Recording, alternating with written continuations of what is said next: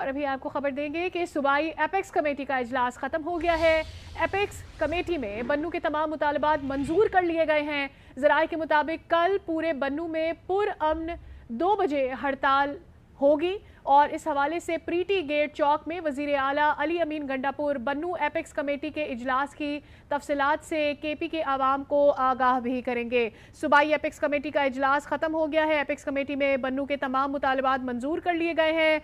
जराए बता रहे हैं कि कल पूरे बन्नू में पुरअमन हड़ताल की कॉल है। दो बजे प्रीटी गेट चौक पर वज़ीर अला अली अमीन गंडापुर बन्नू एपेक्स कमेटी के इजलास की तफसलत से आगाह करेंगे। आवाम को शहाबुद्दीन खबर की तफसील दे दीजिएगा। इजलास ख़त्म हो गया है।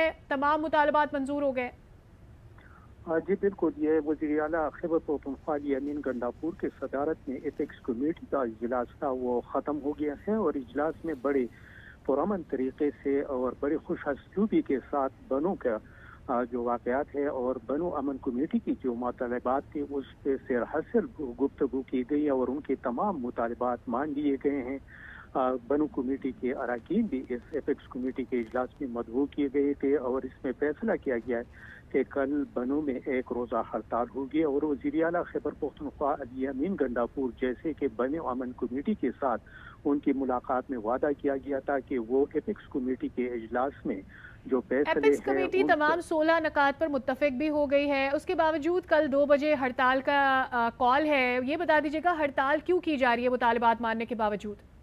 जी, बिल्कुल, ये फैसला पहले से किया गया था कि जुम्मे के दिन हड़ताल होगी और जुम्मे के रोज वज़ीर अला खैबर पुख्तनख्वा या नीन गंडापुर जैसे एपेक्स कमेटी में भी इनकी मंजूरी दे दी गई कि वो खुद जाके बनों में अमन कमेटी के साथ जो वादा किया गया था कि वो एपेक्स कमेटी के अजलास के जो फैसले है, वो बनो आकर वज़ीर अला खैबर पुख्तनख्वा खुद अमन जरगा के सामने वो पेश करेंगे और फिर उसी वक्त जो अमन जरगा है जो वो बैठे हैं अमन के, के लिए वो जरगा वो वहीं पर उसके अख्ताम पजीर होने का ऐलान करेंगे।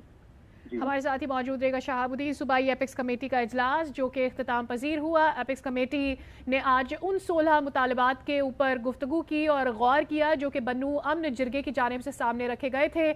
आज के इस बनु अमन इजलास के अंदर सिक्योरिटी अहलकार भी मौजूद थे, अस्करी क्यादत भी मौजूद थी और जिरगे के नुमाइंदगान भी मौजूद थे। तमाम तर मुतालबात मान लिए गए हैं। कल वज़ी अला पंजाब बन्नू वज़ीर अला खैबर पख्तूनखा बन्नू पहुँचेंगे और और गुफ्तगु भी करेंगे जिरगे के रहनुमाओं से।